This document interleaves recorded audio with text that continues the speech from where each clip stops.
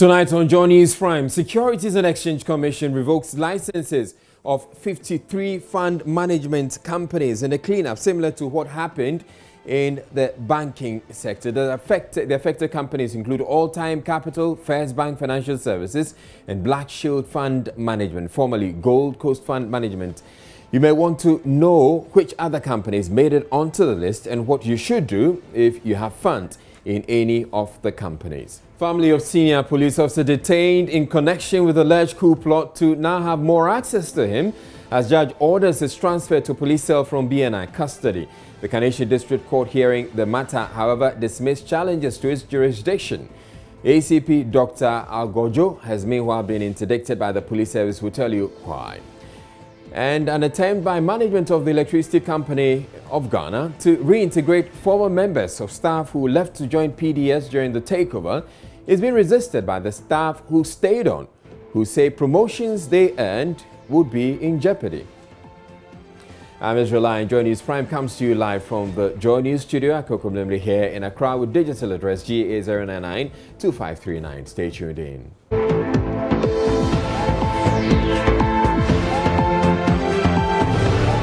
Now, very first story, ACP Dr. Benjamin Agordzo, the senior police officer arrested in connection with an alleged coup plot, will tonight likely sleep in a cell at the Ministries Police Station instead of the BNI facility where he's been detained since Monday. This was after the Kaneshie District Court hearing the case on Friday dismissed a challenge to his jurisdiction.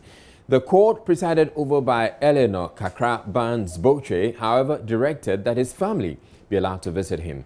ACP Dr. Agordzo was detained by the BNI after honoring an invitation to assist in investigations for his involvement, over his involvement in the alleged plot to destabilize the presidency. Komladum was in court and reports the suspect showed up amid heavy security and this time without his police uniform, which sparked controversy on Wednesday. Lawyers of a police chief, ACP Benjamin Agordzo, had challenged the jurisdiction of a Kaneshie District Court hearing the alleged treason case against their client. According to them, the charge of treason, which is a first-degree felony, does not fall under the ambit of a district court. The lawyers also raised issues of poor handling by BNI officials of their clients while he was in custody. Lead lawyer for Dr. Agordzo, Martin Kpebu, told the court family and relations were denied access to the police officer while he was in BNI cells, pleading the court remands him in police custody. The court presided over by Eleanor Kakra Barnes Boche dismissed the case by lawyers challenging the jurisdiction of a court to handle the matter. The magistrate described as unfounded opposition by the defense lawyers for the court to begin committal proceedings against the suspect. In her ruling, she said the district court is fully cloaked with the powers to deal with the matter and therefore directed the charge be read to the suspect to fast track the processes to forward the docket to the Attorney General's office for advice.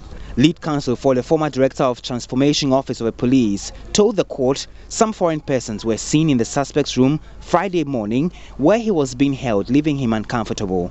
He pleaded with the court to move the suspect to the Nima police station while he seeks medical attention due to ill health. The magistrate ruled the suspect be remanded in the custody of the ministry's police to afford them the opportunity to seek medical attention at the Korle Bu Teaching Hospital or the police hospital. Madame Kakra Barnes Boche also directed the police to make the suspect available to his family between 9 a.m. and 4 p.m. each day. Victor Kwadjoga Adawudu, who represents some seven persons, including Chief Executive Officer of the Citadel Hospital, Dr. Yao Mac-Palm, accused of plotting to destabilize the state, spoke to journalists right after proceedings. Our law says that when you commit an offense, there's something we say indictable. That means that it's a severe offense. The punishment is great, is grave. So if it is grave, the district court would have to look at the bill of indictment. Bill of indictment is just that the statement made by the witnesses and all that the prosecution has will bring it before the district court. District court will look at it. It will not even take your plea. Then from there, the matter is transferred to the High Court.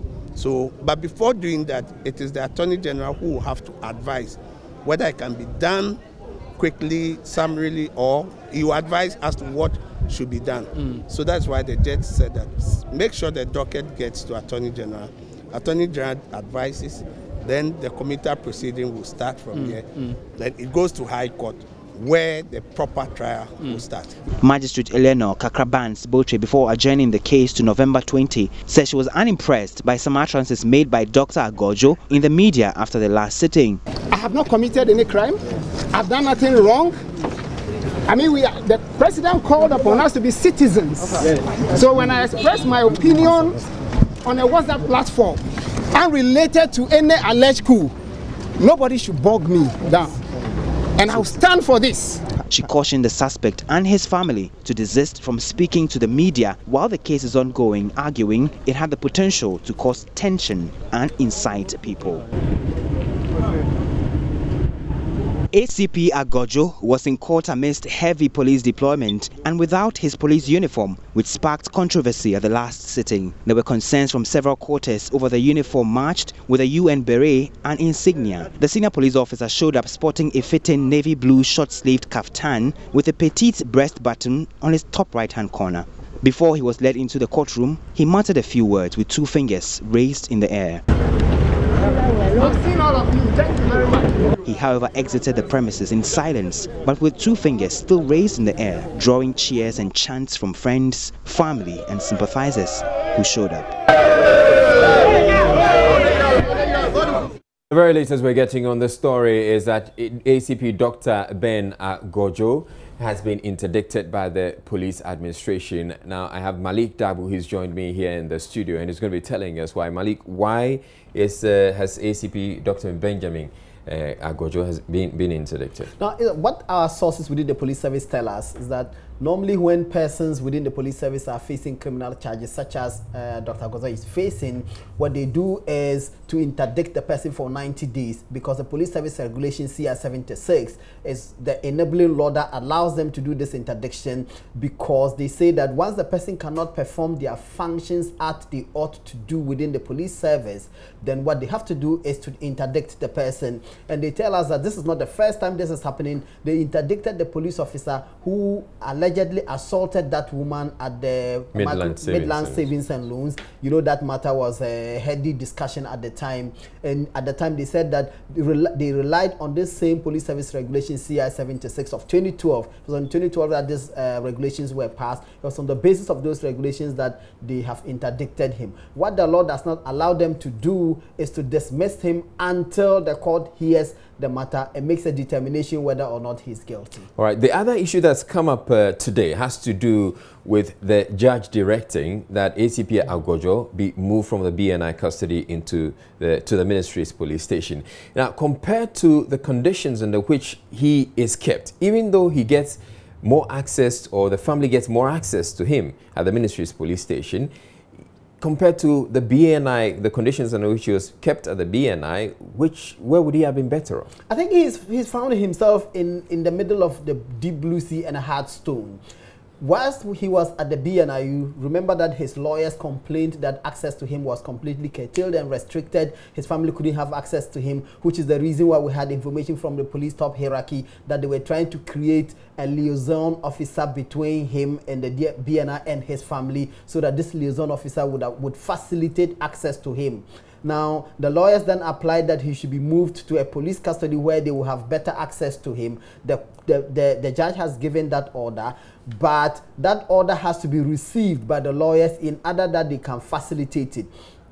Now, the conditions at the BNI would have been better for him compared to the police Why so? That, it, that is because within the police service, they do not have secluded areas that are meant for senior police officers or police officers generally who are facing any criminal case or any criminal charges for which reason they have to be detained. Normally, they will put it in the same general cells with other suspected criminals. And given that this is a decorated police officer, he's an assistant commissioner of police. That's one of the highest ranks that one can attain in the police service. And given that they don't have a secluded, a secluded or a particular place where they can place him, they most likely will leave him in the same cells as the other suspects, which is um, which is not something the police may want to do. So the BNI would have been better for him because in that case he would be in a, in a much more comfortable place. But of course, access to that place too is restricted. So I think that the lawyers weighed the options and decided that access to him is more important to his family and his friends.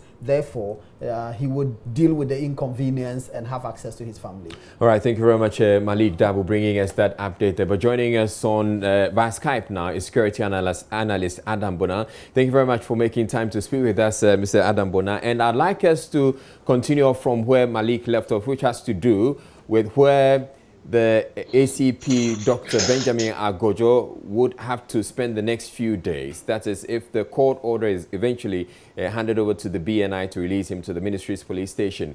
Now, he ends up in the ministry's police station where he probably wouldn't have a bed uh, to lie on as happens or as pertains in most of the uh, police cells that we have compared to where his condition, the conditions under which he will be kept at the BNI, where do you think it would have been preferred?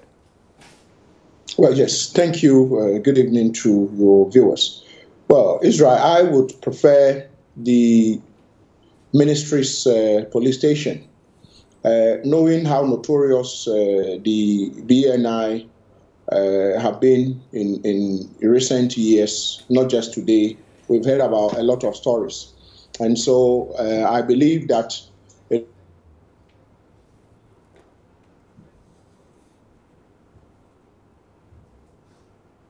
Right, Pierre's uh, connection to Adam Bonaa has uh, been lost there, but we'll try and re-establish that connection with him. The other story we're following uh, this evening has to do with the SEC revoking the license of 53 fund management companies. Let's return to uh, the connection to Adam Bonaa on Skype. Hello, Adam, uh, Mr. Bonaa. You were making the point earlier. Yes, what I was saying literally was that it would be safe to have him. I mean, if I were his lawyers, uh, just like they did, to have him in within the police uh, settings. The, the point is that if you say he has to be at the ministry's police station, I heard you say he won't have a bed because they don't have single cell for you know suspects. I mean, every part of the police station is still the police custody, and so uh, one cannot easily just conclude and say uh, he's going to be locked up in the in the hard in the hard cell on the hard and put on the hard floor. As far as I'm concerned, I think that uh, being at, at, that station is far better than in, in the BNI custody, Israel. All right, but the other issue that's come up has to do with his interdiction. He has apparently been interdicted, and that's according to the police service regulations. What do you know about this interdiction? No, I, I raised this issue the very day he was picked up. Because with they, the police themselves, their own regulations, usually you would have to be you have they have their own regimental processes they take your judiciary uh, judicial uh, processes they take you through if you are suspected to have committed a crime. And you they will start by you know and require interdicting you before you you face a service inquiry or after facing a service inquiry, they would interdict you. If there is a need for you to be dismissed, you are dismissed. Depending on the severity of the rank, sorry, of the offense, you are then put before a civilian court.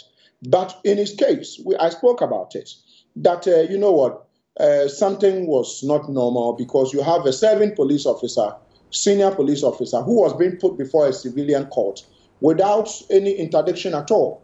And so I think well, it's the right thing to do to interdict him so that uh, he's technically relieved of every police official duties. He goes to, you know, have his day in court.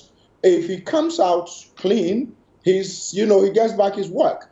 But if something happens, assuming without saying that is going to be the case, uh, the is guilty, then the police service can then go on and decide what they want to do with him. But at the moment, what the, the decision the police have taken in terms of his interdiction this is what I was expecting to have happened the very day he was picked up. But I believe uh, better late than never.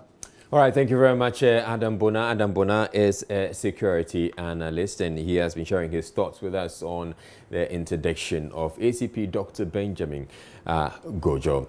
You're watching Joy News Prime. We're taking a break, but still ahead in the bulletin, the Securities and Exchange Commission has revoked the licenses of 53 fund management companies in a cleanup similar to what happened in the banking sector. The affected companies include All Time Capital, First Bank Financial Services, and Black Shield Fund Management, formerly Gold Coast Fund Management. And you may want to know which other companies made it onto the list and what you should do if you have your funds in any of the companies.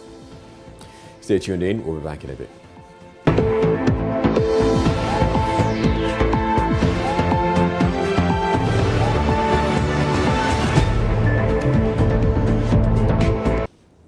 Now, the Securities and Exchange Commission has revoked the licenses of 53 fund management companies in a massive cleanup of the securities market, similar to what happened in the banking and microfinance industry.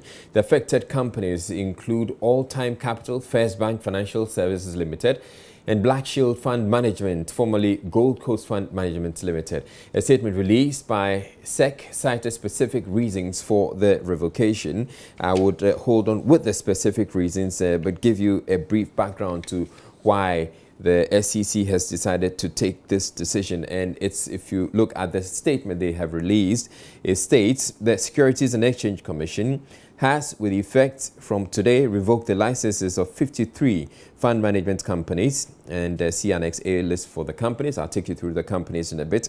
These actions were taken pursuant to Section 122, Section 2, uh, B of the Securities Industry Act 2016, Act 929 or the Act, which authorizes the Securities and Exchange Commission to revoke the license of a market operator under any of the following circumstances, and they list the circumstances. I'll skip that and go to the consider page two of the statement. It says the revocation of the licenses of the specified companies has become necessary as they have largely failed to return client funds which remain locked up and in a number of cases they have even folded up the operations. Essentially, they have failed to perform their functions efficiently, honestly and fairly and in some cases are in continuing breach of the requirements under relevant securities laws, rules or conditions, despite opportunities provided by, to them by the SEC within a reasonable period of time to resolve all regulatory breaches. The SEC has concluded after extensive engagement with these institutions that their continuous existence in the light of their conduct poses severe risks to the stability of the capital market and to the interest of investors. It continues, the SEC has taken this action in accordance with its mandate of protecting investors and the integrity of the capital market. The SEC and its authorized agents will secure the premises of the affected companies for further investigations under Section 26 of the Act. In addition, the SEC has notified the Registrar of Companies of the revocation of these licenses and has requested that the Registrar petitions the High Court to commence winding up proceedings against these companies under the Bodies Corporate Official Liquidations Act 1963, Act 180. The authorized agent of SEC and the liquidator, once appointed, will work together with the government to pay a capped amount. And this is quite important. The authorized agent of SEC and the liquidator, once appointed, will work together with the government to pay a capped amount to all affected custom investors of these firms in line with government's commitment to support the industry securities industry and to provide some immediate relief to investors who are hurting because of their locked up funds. The outcome of the court process will inform the handling of assets, retrieval and liquidation to further sort out validated investor claims. So by per this statement or this aspect or this paragraph in the statement, the SEC is saying that a capped amount to, will be paid to all affected investors of these firms. But then the outcome of the court processes will inform the handling of assets retrieval and liquidation to further sort out validated investor claims. Now, this other paragraph is crucial. It says, by the close of business on Monday, the 11th of November 2019, SEC, together with its authorized agent, will provide further details about the validation process and specific locations where investors can present their claims to be validated. In the interim, we urge all investors to remain calm, gather all receipts, statements, and any other documentation required to their investment, related to their investment with their affected institutions. i like to reiterate this point. It says, in the interim, we urge all investors to remain calm, gather all receipts, statements, and any other documentation related to the investment with the affected companies. And it concludes there is no need for any panic withdrawals on the firms whose licenses are intact and not on the revocation list. And a list of firms whose licenses have not been revoked can be found on the SEC website. So at this point, I'd want you, I'd want to take you through the listed uh, companies, the companies that have been affected. And there are two uh, uh, lists. The first one has to do with the list of fund managers who are not operating and whose licenses have been revoked. And it lists them as follows. Alpha Cap Limited, Beige Capital Asset Management Limited, Cambridge Capital Advisors Limited, EM Capital Limited, Energy Investments Limited, From From Capital Limited, Gold Rock Capital Management Limited, Heritage Securities Limited, formerly Future PIP Asset Management, Kamag Capital Limited, formerly Lifeline Asset Management, Kron Capital Limited, Mark Asset Limited, Man Capital Partners Limited, Macaulay Capital Limited, McEllis Investments Ghana Limited, Nickel Kinesbury Limited, SG Royal Capital Limited, Standard Securities Limited, formerly ASN Investments Limited, Tikure Cap Capital Limited, Ultimate Trust Fund Management Limited, Universal Capital Management Limited, and Western Capital Management Limited. So this list has to do with fund managers who are not operating and whose licenses have been revoked. Now we have a second list which has to do with list of fund managers who are operating and whose licenses have been revoked. And they include All Time Capital Limited, Apex Capital Partners, Axe Capital Limited, formerly United Asset Management, Black Shield Capital Management, formerly Gold Coast Fund Management, Brooks Asset Management Limited, Canal Capital Limited, Corporate Hills Investment Limited, Dow J's Investment Limited, First, First Bank Financial Services Limited, Frontline Capital Advisors Limited, Galaxy Capital Limited, Global Investment Bankers Limited, Gold Street Fund Management Limited, formerly Gold Street Investment Limited, Ideal Capital Partners Limited, Intermarket Asset Management Limited, formerly CDH Asset Management, Integrity Fund Management Limited, Creeper Capital Limited, Legacy Fund Management Limited, formerly Legacy Financial Services Limited,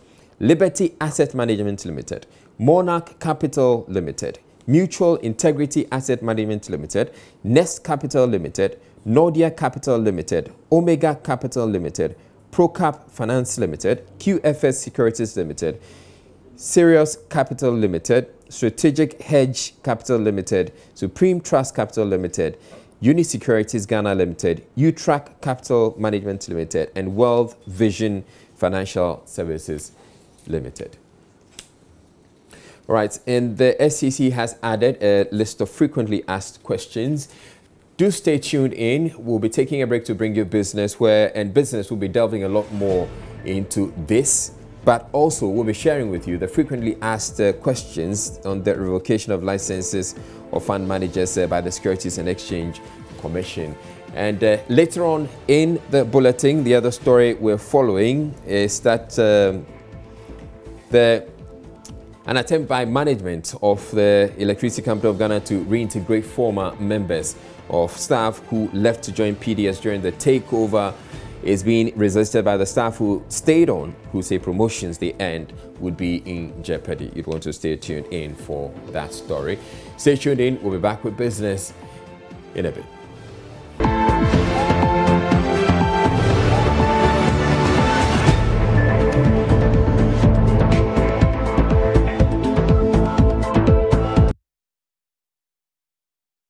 Welcome back to Joy News Prime and uh, moving on to other stories. There's confusion at the ECG as workers vow to resist plans by management to reverse recent staff promotions to make way for the reintegration of uh, members of staff who left their company. Now, according to the old staff, management wants to reverse promotions offered them after the exit of their colleagues. Several of them were promoted to fill vacancies left by ECG staff who decided to join PDS and management is seeking to revert to the status quo before the coming into force of the concessionaire in March 2019 as government's decision to terminate the agreement meant almost all workers inherited from the ECG had to return to uh, the ECG or inherited from PDS had to return to ECG. Uh, Joy News' uh, Joy News editor Fred Smith monitored events at the ECG headquarters earlier today. Well, for close to an hour, there was a hold-up.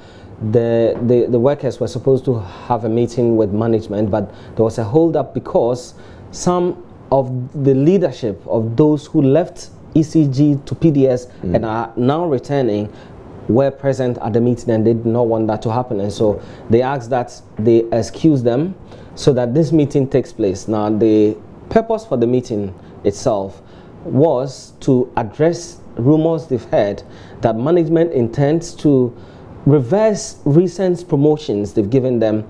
You know, uh, when PDS took over ECG in March, vacancies were there that needed to be filled. So the ECG workers who did not move were those who applied for these vacancies, these positions, and subsequently got the job. Mm. Now, their colleagues who left to PDS are back and are asking for uh, asking for them to, you know, go back to their previous positions so they can take up their the positions they held before the PDS deal, and the, there's huge disagreement over this. So, how is ECG's management justifying this decision to basically demote those they recently promoted? Well, they uh, per the letter from government which cancelled the PDS concession. It said that we should assume that nothing happened. PDS, the concession did not happen at all. And so everything was reverting to previous positions post March mm. when the deal started. And so any other thing that has happened in organization, if the workers were working at ECG before PDS came, they have to go back.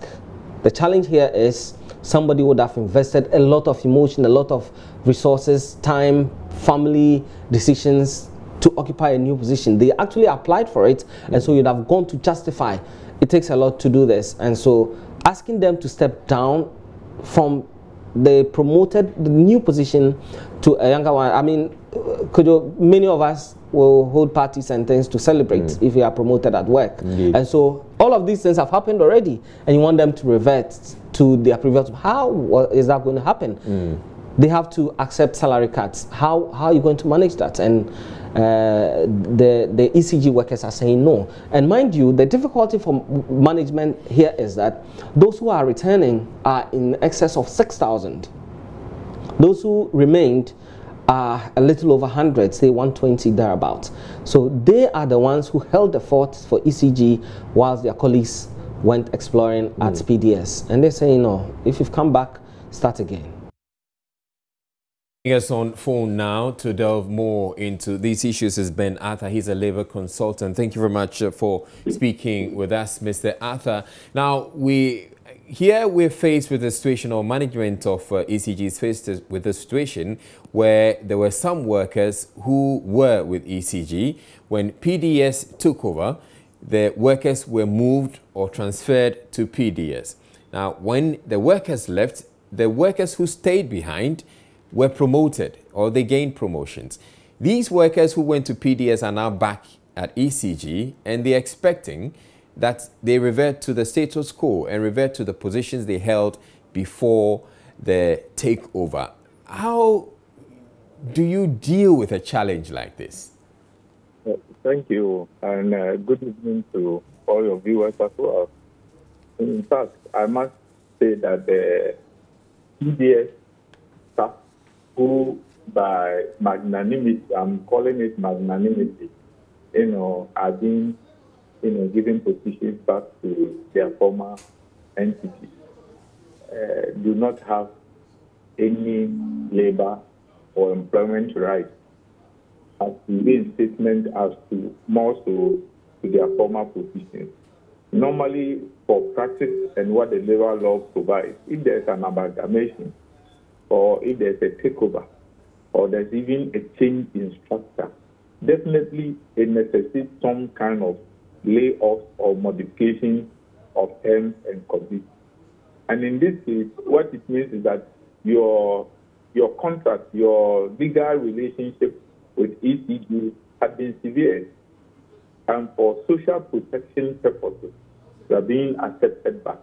Your colleagues who stayed and I've had promotion is through no fault of theirs, and it will be very difficult for any employer, especially in the set of ECG, to say that look, the ones who stayed on for which reason we have promoted or whatever performance indicators they use, they have they have been promoted.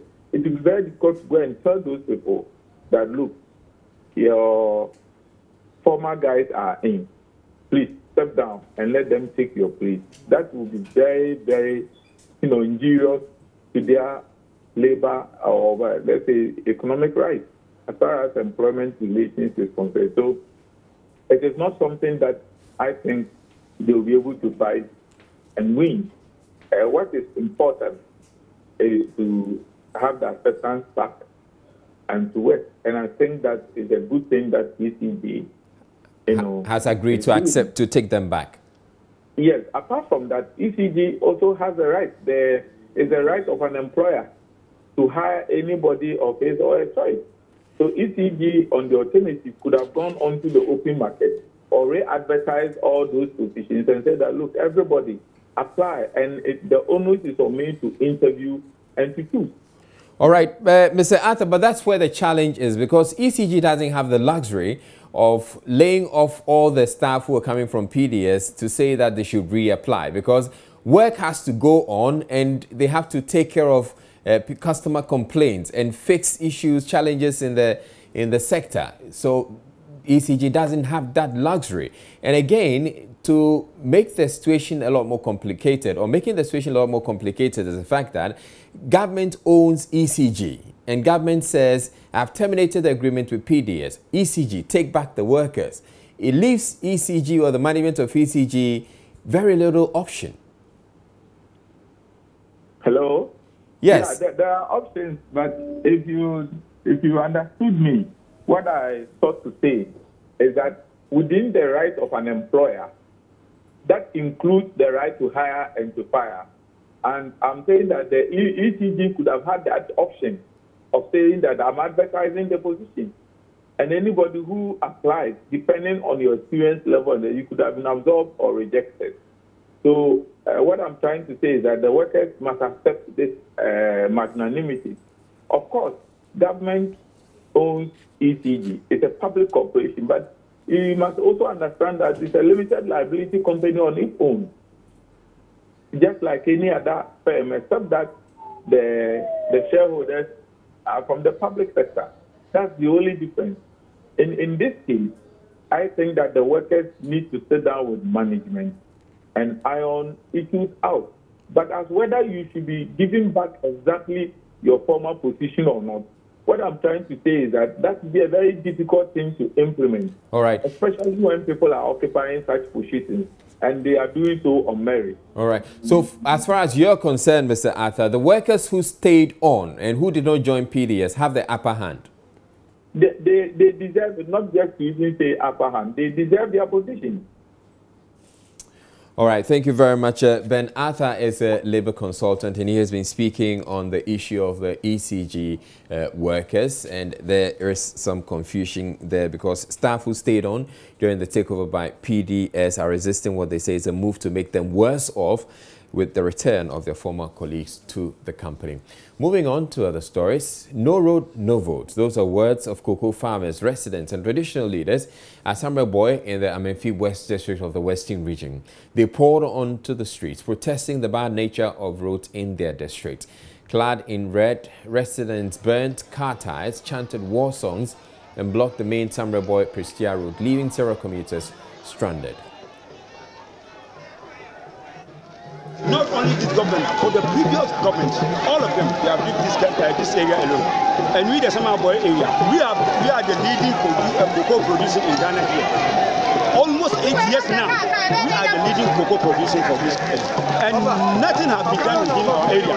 No good roads, no secondary school. Even the secondary school have been built, but up to date, it's in the bush. It becomes setting for animals. And the roads are bad to really, the roads are bad. So we are now here to demonstrate, to show the government that we should come on our aid to make good use of the road for us. So what will happen after this demonstration? After this demonstration, we are giving our, uh, I mean, all matters to the government. If the DC fails to come and collect our demands, we will find ourselves in a good show for next time to come. Uh, yɛ ɛgya yɛ wu si a yɛ bɛ bɔ ɛma yɛ bɛ bɔ ne kan hwɛ ɔmɔ bia secondary school wɔ ha secondary school na aka nwura nim aka nwura mu ɔmɔ di nkonnwa nyinaa bɛ gum ɔmɔ bɛ yi nkonnwa ne de kɔ maa so dada yi ɛdɛ sɛ mo bɛ si secondary school ne di si ha nti dabi ase yɛ mma bɛ wie school na ɔmɔ bɛ kɔ kuro ɛdɛ sɛ kurɔfoɔ so ba ha na yɛ so yɛ ka ghana hɔ yɛ nye yɛ fa ahodeɛ na n'ado sɛ waba a yɛ nye yɛ fa ahodeɛ.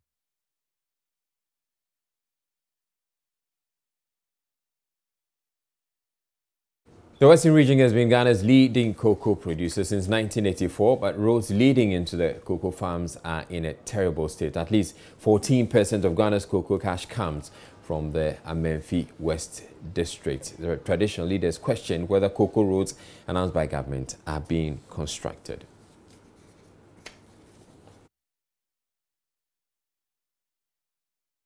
Now, the John Agyekum Kufuor Foundation is asking government to formulate a policy that will require public institutions, such as schools, to buy local rice. Speaking at the Ghana Rice Festival in Accra, Chief Executive Officer of the foundation, Professor Baffour Agyeman-Duah, said it is troubling that despite the huge local capacity, the country continues to import rice to the tune of almost a billion dollars each year. There's more in the following report. The event, organized by the Kufuor Foundation and the Ghana Rice Interprofessional Body, was designed to promote the consumption of Ghana rice. It's therefore called for a ban on rice importation to spare local production. Nana Aye, president of the Ghana Rice Interprofessional Body, outlined some of the challenges rice farmers face and says government must pay more attention to rice farmers. A special allocation for um, fertilizers during the subsidies season.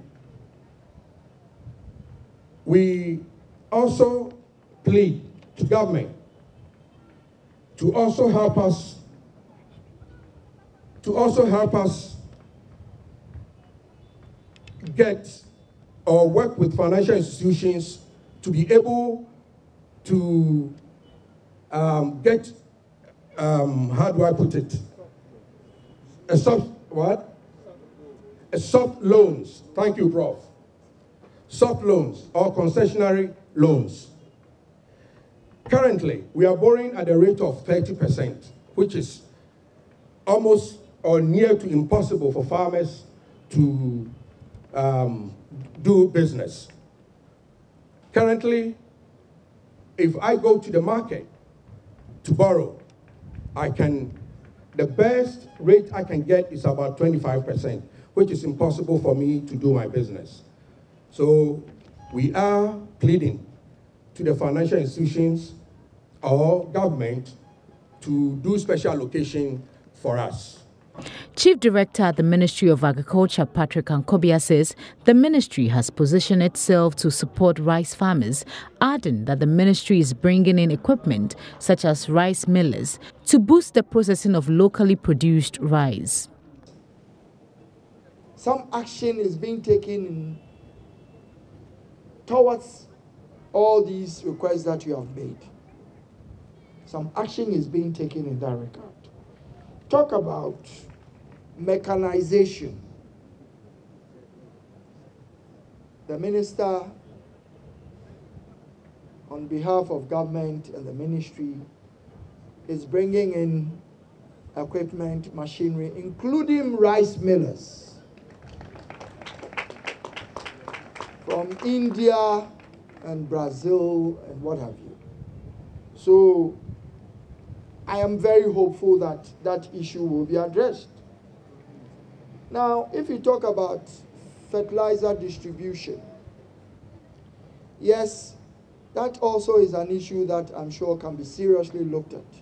We are aware of the problems with the distribution of fertilizer.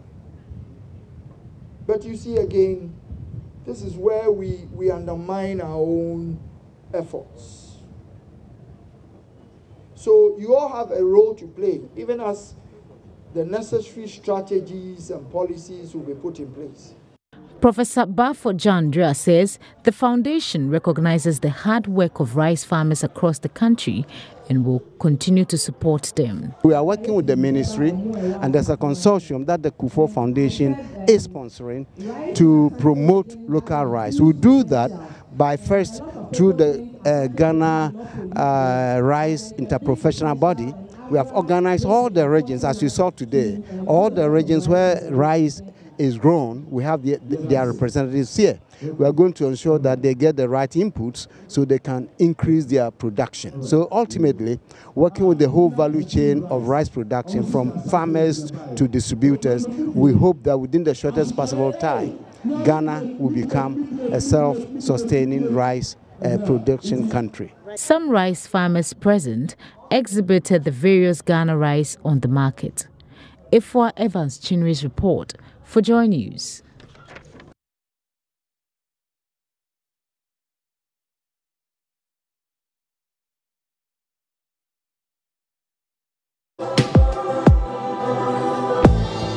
Health Matters is brought to you by Camel Buy and Fly to Dubai promo.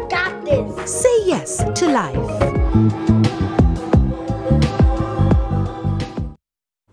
Now, health practitioners in the Upper Wa East district of the Upper West region are worried about the increasing rate of teenage pregnancies there. Statistics indicate the district has in the last three years recorded a total of 1,405 teenage pregnancies. Wa East District Director of the Ghana Health Service, Rukaya Wumaya, disclosed this at a news conference at Fumti. Joy News' Upper West correspondent Rafiq Salam reports. You may have heard of the story of Zinye and Sawobe, both in the Wa East District of the Upper West region, where for 25 years, not a single girl has been able to complete junior high school. The highest educational level girls in these two communities are able to attain is junior high school too before they are forcefully married off or due to pregnancy. Now listen and watch this chilling statistics that probably will send shivers down your spine. For the last three years, a total of 1,405 teenage girls in the Wa East District were pregnant. Wa East District Director of the Ghana Health Service, Rukaya Wumnaya, made the disclosure at the Save Me the Press series at the district capital, Funsi. 2017, we had 500 teenage pregnancies. 2018, 493. Then 2019, 412. That notwithstanding, Rukayo said they are not resting on their oars, but working with other agencies to deal with the high number of teenage pregnancies in the district. What is the district chief executive, Moses Jotier, enumerated some projects embarked on by the assembly. It doesn't mean that the contractors or the temp dams has been abandoned. We, it is the season that determines. So now that we are going into the dry season, the rains will not disturb. We are going to have our 10 dams in the. Last two or three weeks, we have the officials who came here from uh, Ghana Highways Authority, and they took measures in all the roads. And you know, it is a process. It isn't that uh, you just go and mold blocks and start building. They are now going uh, taking the, uh, this, the processes of getting the township roads worked on. So it is not anything that the president has mentioned and run away. No. Deputy Apostle Minister Amiruchine Isaku also spoke about the implementation of the free senior high school policy. A little over 2,000 students have benefited from the free SHS in the two schools located in the Wa East. What that means is that the cost that our parents should have been paying for this over 2,000 students of let's say 1,800 cedis per student as school fees has been absorbed by government, making it easier for them. And I believe the monies that should have been paid for these over 2,000 students to be in secondary school is now savings in the pockets of their parents that they can direct to other channels to improve their lives. Reporting for Joy News, Rafiq Salam, Funsi. Very much, and that's it for the bulletin. I'm Mr. Lai. Thank you very much for watching. You have a good night.